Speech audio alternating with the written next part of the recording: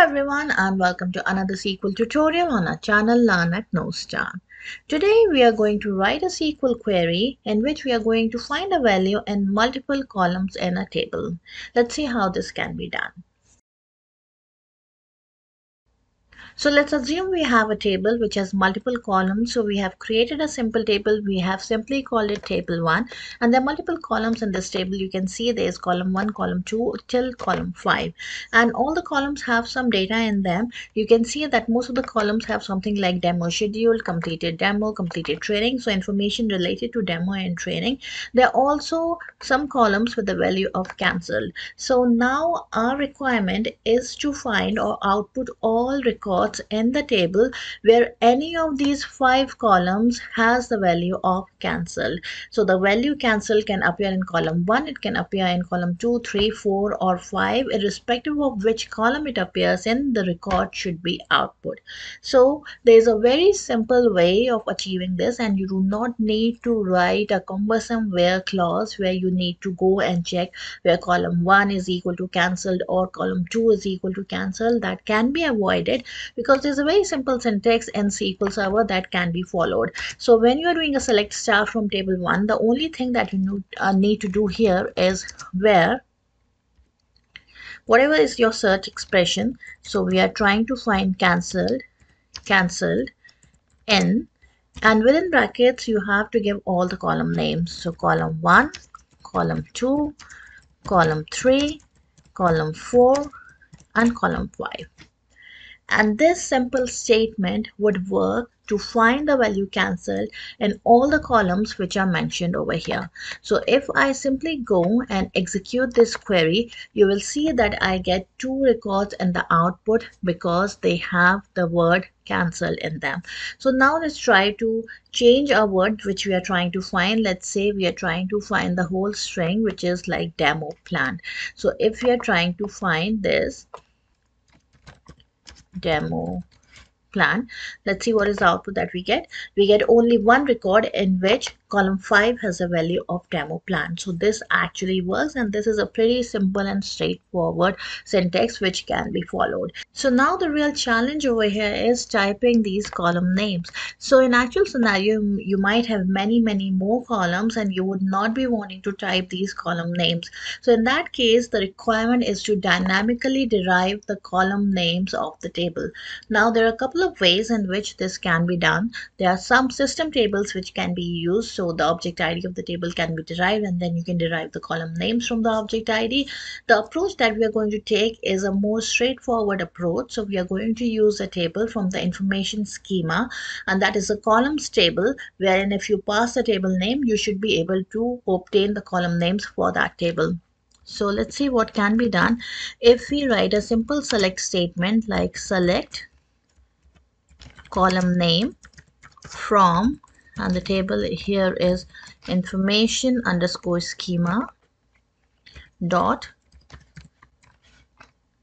columns where table name is equal to your table here. So table 1 now if I execute this query you will see that I get all the columns so I get five records with all the column names for the table, table one. Now, if I have these records and I can just put this query dynamically instead of writing these column names here if I can just put this query I should be able to get the desired results let's try to do that and see what is the output now I have pasted the query from the information schema table. Uh, you can see that I have pasted it in the end part of this query. Let's try to execute this query and see if it still works. So you can see that there is no output from this query. So it does not work because it needs the column names in a particular syntax or particular format. So that is not working in this case because it is the column names are being returned as different row values, which obviously this query is not considering. So to make this query work, now what I'm going to do, I'm going to bring the column names in the same format in which we had in a previous query. So basically column names concatenated by a comma. So in latest versions of SQL Server, this is very simple to do. What we can do is simply go ahead and use the string underscore agg function which is going to concatenate all the multiple row values into a single column and you can specify your delimiter. So the delimiter that we are going to specify over here is going to be a comma. Now, if you're not clear with this function, we have done multiple videos on this. And if you have an older version of SQL Server where this function does not work, there are other ways of achieving the same thing. And we have video tutorials on those as well. All the links will be provided in the description. For now, when we use this function, I'm just going to execute the subpart of this query. So you will see that we have got the column names which are separated by comma. So this is more like the desired format that we have over here. And now let's again try to execute this query and see if this will work. So i'm going to execute this query and you will see that the output is still null. So nothing has been returned which means the query is still not working. Now why is this query not working is basically what we are getting in the output from the aggregation function is being considered as a single string. So what it is doing is it is actually considering this as a single string. So when it is making the comparison, it is comparing the whole thing as one single string. So if you put the commas, if you put the quotes over here and try to execute this query, nothing is going to happen right? So it is the, it is doing the same thing. It is considering this whole as a single piece of text and that's why you are not getting any output. So this is not going to work still. Now to make it work we have to take another approach. So the same queries but we do not want it to consider that as a single piece of text so we do not want these quotes over here. So what we can do here is we can construct a dynamic query and that would make sure that the quotes are not placed and this is not treated as a single piece of text. Now to, uh, to construct a dynamic text we need to declare some variables. So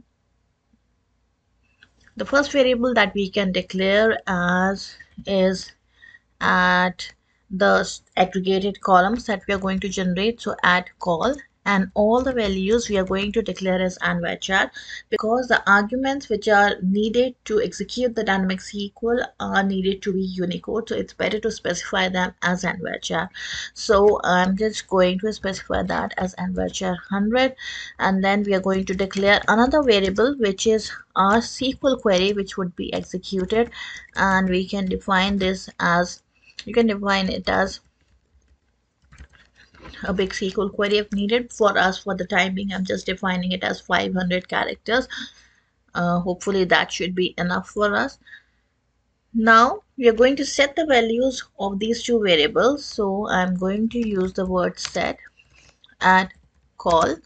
And the value that we're going to set this to is this particular subquery that we had written over here which is going to provide us the concatenated list of the columns so this is what we're going to set it over here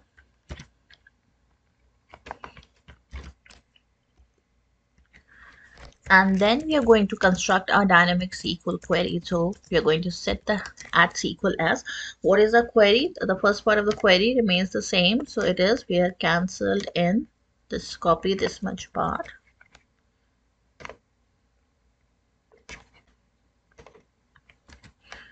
okay and you have to concatenate the different parts of this query to make it a dynamic SQL again if you're not clear with how to create a dynamic SQL we just recently did a video on dynamic SQL so the link will be provided again in the description below and you can go to that link.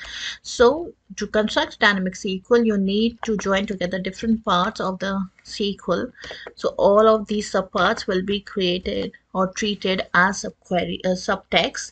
So here is the first part then you need to use the concatenation operator which is a plus. What are you going to concatenate it? Is with the values which are written in the column. So that is what we are going to concatenate it with. And another thing that you have to observe is that there has to be a bracket over here. So the values which are returned by at call are going to be column 1 2 3 4 uh, separated by a comma. And then again you need to concatenate with the closing bracket. Okay. So what are these codes for? Let's just see. This is your first part of the dynamic SQL the subtext. Okay. Whenever you're concatenating two pieces of text or string they have to be within quote so these are the uh, the starting quote and the ending quote for this part of the string. And then you have a variable. You are concatenating the variable. So you're just referencing to the variable using the at call the variable name. Again a plus for concatenation. And this is the last part of the string. So again within quotes. We need to concatenate with a closing bracket. So that is why it is within quotes. Now since quotes are used to specify the start and end of a string these quotes are confusing for SQL Server so we need to escape these characters because SQL interprets the quotes as the start and end of a string, whereas these are part of the string. So to escape a quote, we have to escape it using another quote. So if you have a single quote you want to escape, you just put another quote and that will be escape. So we escape the starting quote we have to escape the ending quote so this is what is going to construct your query so this is your query which will be constructed and now we have to execute. So execute. There are multiple ways. Again two ways to execute it. We are going to execute here just using the execute command exec command. And that is the execution command. Execute at SQL and this is our command. So now again let's execute the whole part starting from the declaration. So this is the whole code that we have written make it a little big so this is the whole code that has been written and I'm just going to execute it and you will see that the correct result will be outputted. So both the rows because in the first row column 4 had the string cancelled and in the second row column 5 had the string cancelled so this will be written.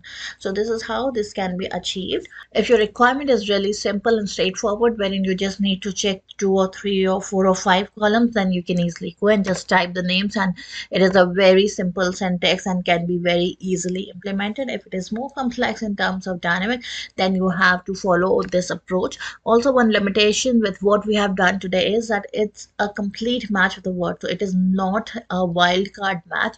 It is not like a like. So we are not saying that if you cannot uh, match if there's anything else with the cancelled and you want to just find part of the string matches you would not be able to do that because it is not like a like so you cannot use percent and percent sign over here.